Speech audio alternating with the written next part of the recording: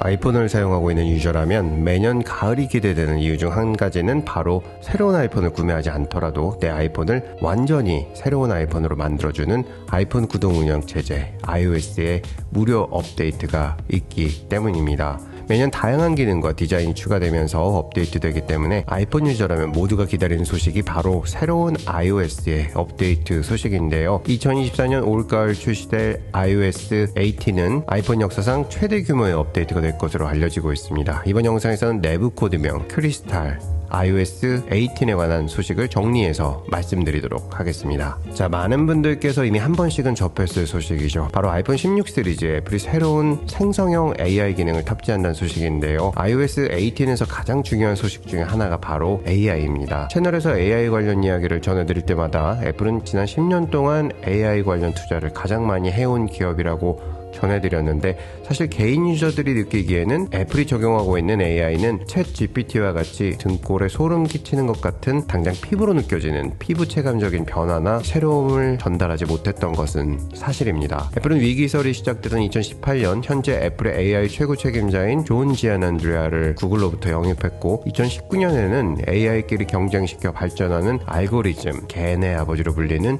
이안 굿 펠로우를 추가로 영입하면서 애플 keynote에는 machine machine learning이라는 단어가 강조되었습니다. 이후 애플맵에서는 사용자의 동선 패턴을 읽어서 출퇴근 경로를 자동으로 권장해주기 시작했고 애플메일, 아이메시지는 자동 완성 텍스트 기능 등이 향상되었습니다. 하지만 애플은 AI라는 매직 단어를 사용하지 않았습니다. 그 이유는 애플이 궁극적으로 추구하는 목표는 유비쿼터스 컴퓨팅, 바로 우리 생활 속에 언제 어디서든 쉽고 편리하게 사용할 수 있는 컴퓨팅을 추구하기 때문에 자칫 의존적일 수 있는 AI는 애플에서 사용을 최대한 지양하고 있는 단어입니다. 아마도 이번 WWDC 24에서도 AI라는 단어보다는 machine learning과 deep learning 기술을 바탕으로 한 애플 GPT를 소개하게 될 것으로 예상됩니다. 애플이 적용하고 있는 AI 분야는 거의 모든 분야에 가깝지만 크게 헬스케어의 빅데이터, 보다 쉬운 기기 사용 분야, 그리고 보안 시스템의 서비스에 적용되고 있으며 크게는 플랫폼 엔지니어링, 시스템 엔지니어링, 데이터 엔지니어링, 데이터 science, 응용 연구 등에 적극 활용 되고 있는 것으로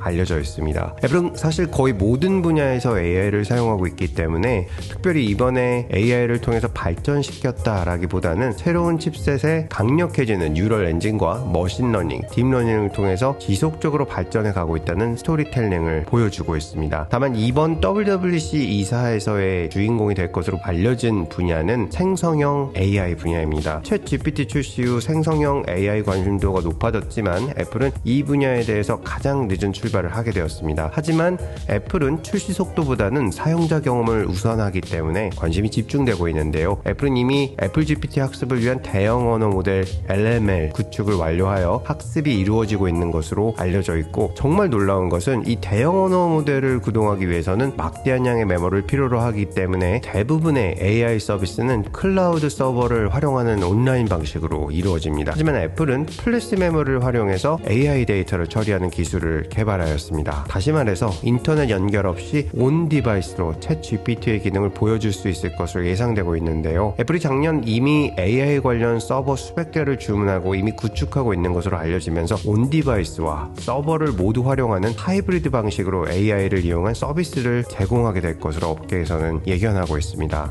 해당하는 내용은 이미 작년 2월 내부에 진행되었던 애플 AI summit에 브리핑된 것으로 알려져 있습니다. 하지만 사용자들에게 경우에는 애플 GPT라는 기능으로 별도로 보여지기보다는 시리의 비약적 기능 향상이 될 가능성이 더욱 높습니다.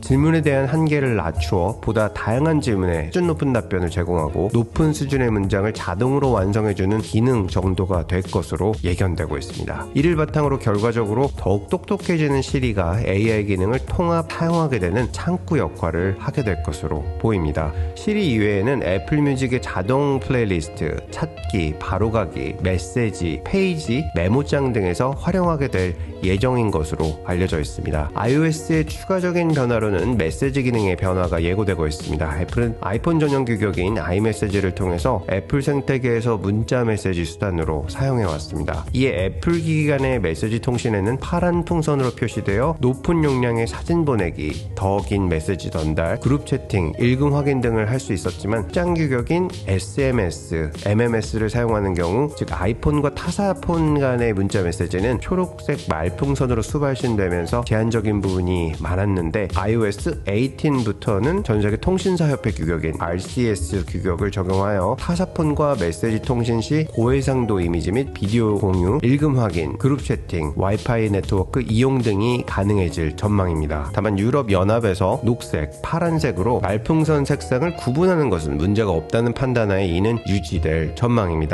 사실 우리나라에서는 문자 메시지보다는 카톡을 많이 사용하기 때문에 이 변경점은 크게 와닿지는 않을 것으로 보입니다. 커뮤니티 탭으로도 말씀을 드렸지만 iOS 18의 디자인 모태는 비전 OS가 될 것이라는 소문이 있습니다. 이를 유추해 볼 수 있는 디자인은 애플 TV OS에서 볼 수 있는데요. TV OS 7.2 버전부터는 반투명 내비게이션 sidebar가 도입되었는데 비전 프로 또한 이러한 반투명의 메뉴바 인터페이스를 사용하고 있습니다. iOS 18 역시 동일 디자인을 갖게 되며 이에 따라서 시스템 메뉴와 기본 앱들도 모두 재설계된다는 소문이 있습니다. 마지막으로 정리해보면 iOS 18은 생성형 AI 기능 탑재로 인해서 보다 뛰어난 성능의 neural 엔진이 탑재된 프로세서가 필요합니다. 이에 애플에서는 이를 원활히 구동할 수 있도록 A18 프로세서를 탑재하는 아이폰 16 시리즈에서만 완벽한 AI 기능을 사용할 수 있도록 제한할 것이 매우 유력합니다. 추가로 카메라 일부 기능에서도 AI를 이용하는 기능 이 탑재되는 것으로 알려지고 있는데 어떤 기능이 탑재되는지는 알려지지 않았습니다. 애플이 생성형 AI와 iOS 18이 궁금하시다면 이번 WWDC 2사를 기대해 보시면 좋을 것 같습니다. 감사합니다. 보스턴에서